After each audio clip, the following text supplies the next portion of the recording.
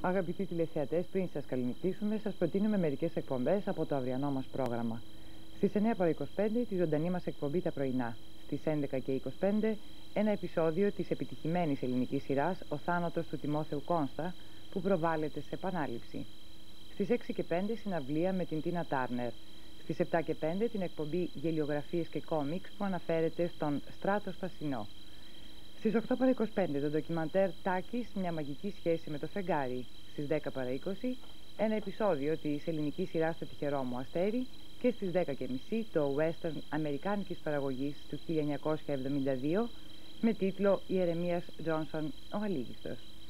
Στο σημείο αυτό κυρίες και κύριοι φτάσαμε στο τέλος του σημερινού μας προγράμματος. Ευχαριστούμε που μας παρακολουθήσατε. Θα είμαστε μαζί σας αύριο το πρωί. Καλή σας νύχτα.